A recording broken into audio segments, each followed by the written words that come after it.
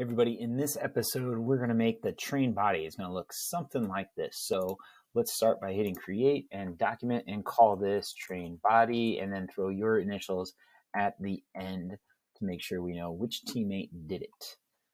So uh, this part is um, one of the bigger parts.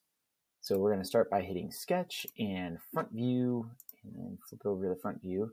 And let's start by making like a backwards L with the line. So I'm going to start at the origin. I'm going to go to the right. I'm going to go straight up. You can see I'm not quite paying attention to um, dimensions, but I am making sure that I am at a right angle or perpendicular angle on all of those. I'm going to come back all the way to the uh, vertical axis and then back to the origin and it should gray out, which it does. All right, let's start dimensioning some parts here. So uh, we want this height to be 0.875.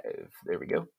We want this base line to be 5.5 inches.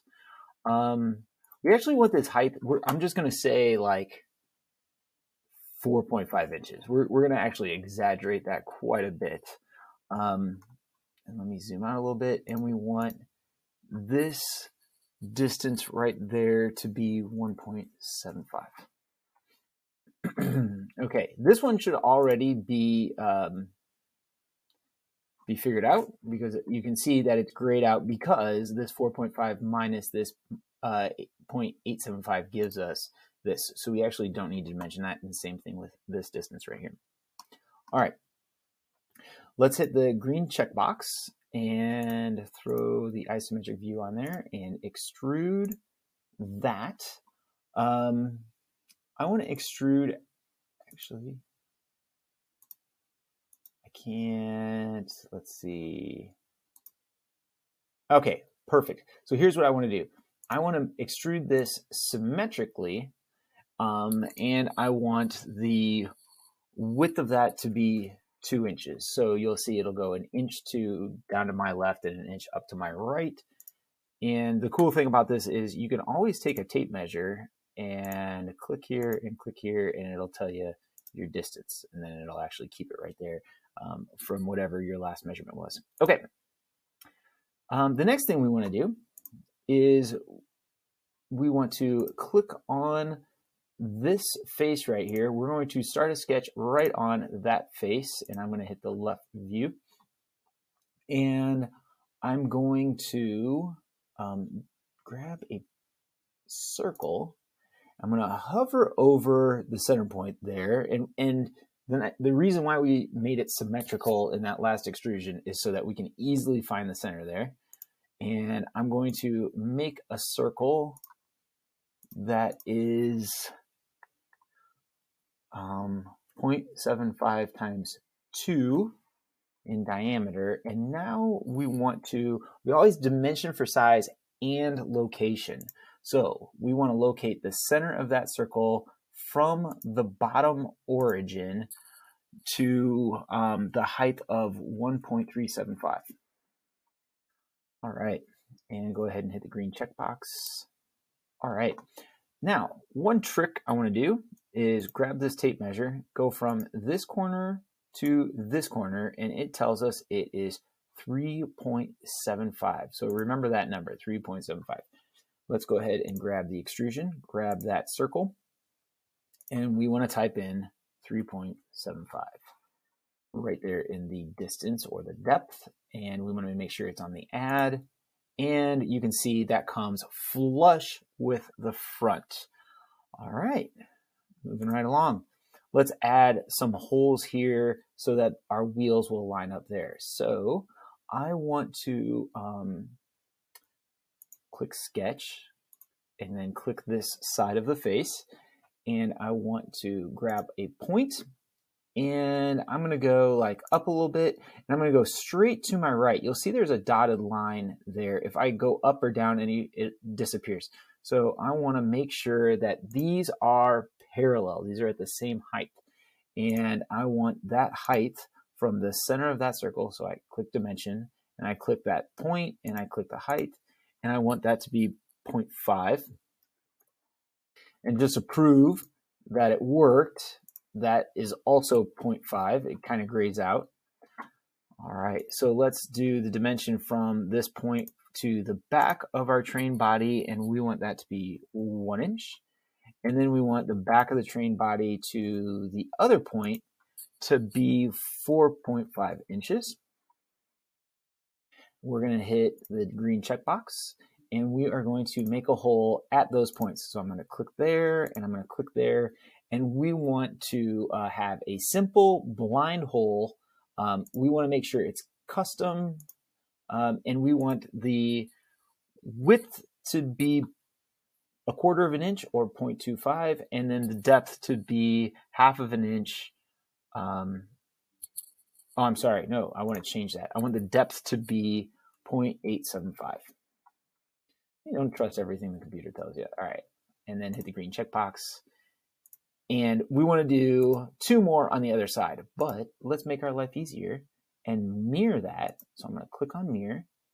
I'm going to click on um, feature so I want to change, I want to click feature to mirror. I'm going to click on this hole and it should like click on that hole too. Um, and I want my mirror plane to be this front view.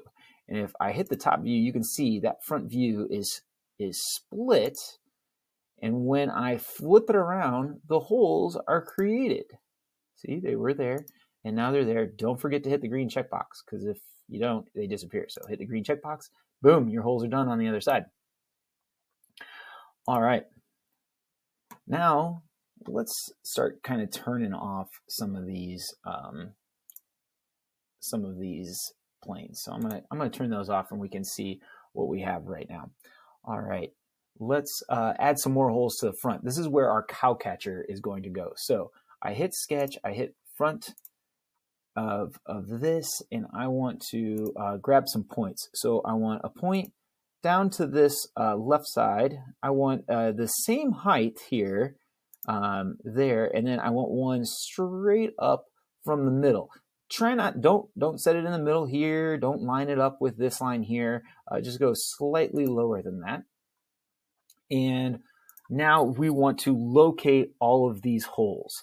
So, um, the first thing I'm going to locate or I'm going to dimension is from this point to this uh, base right here.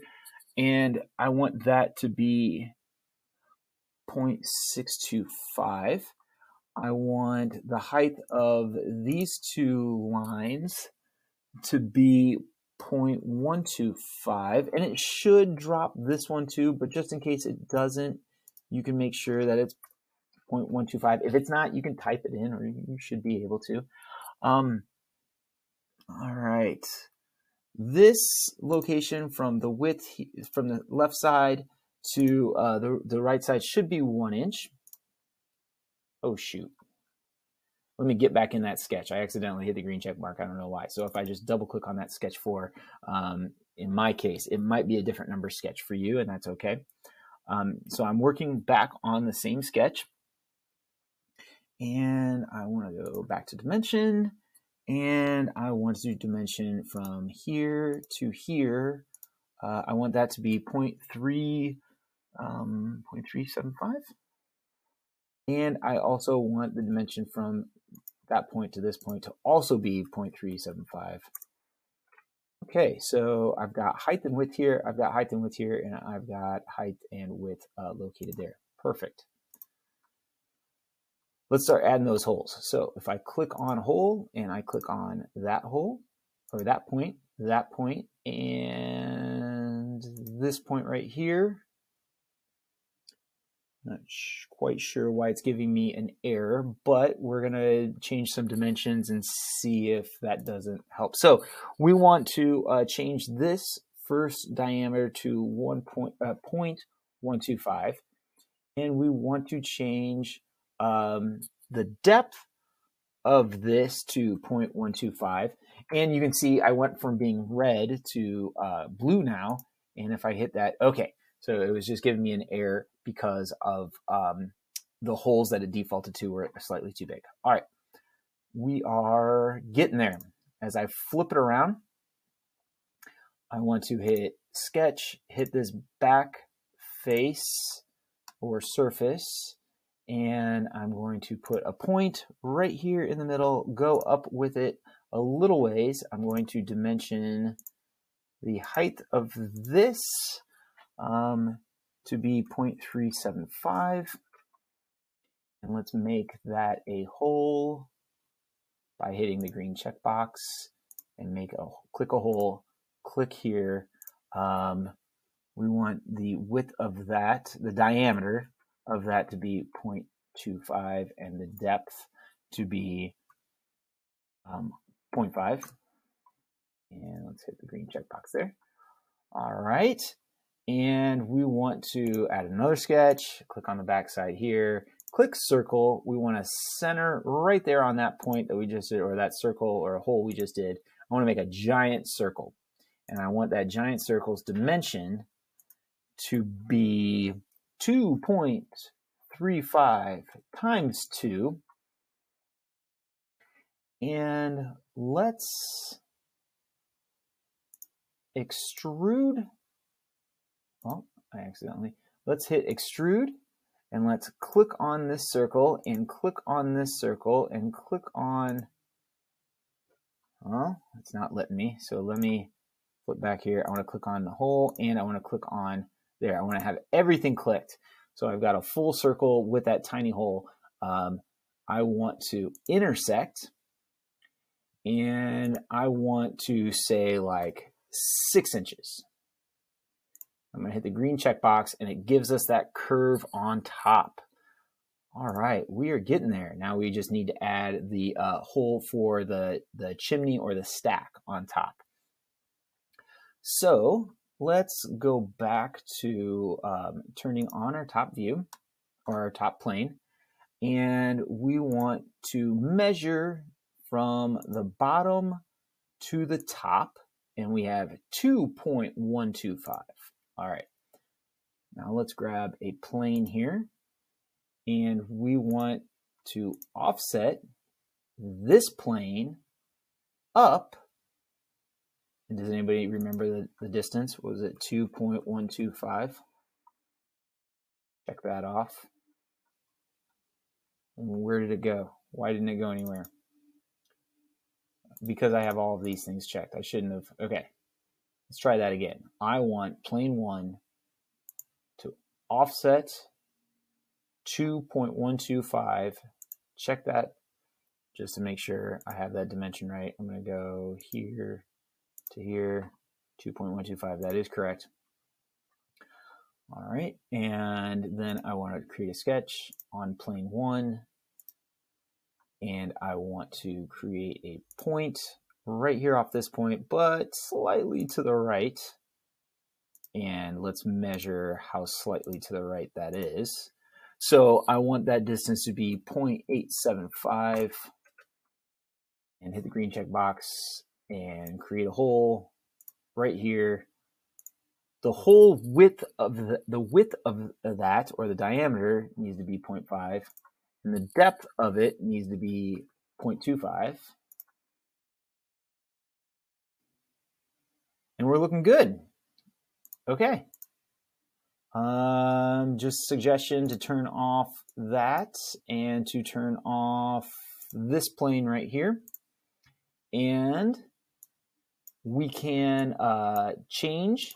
So if I right click on part one and I go to assign material and I change this to ABS plastic. Okay, we are almost done. The only other thing we need to do is fillet all the edges except for the holes.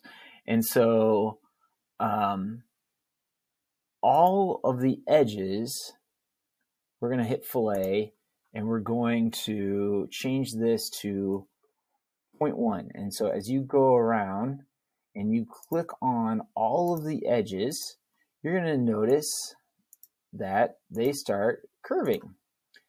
And we are going to click on all of the edges again and keep going around and around. Avoid clicking the uh, places where you put um, where you put holes. So let me flip this around, make sure I get the bottom and the back and flip it around. I missed this side and I think that's everything. And if I hit the green checkbox, I've got round edges everywhere. Oh, I missed one.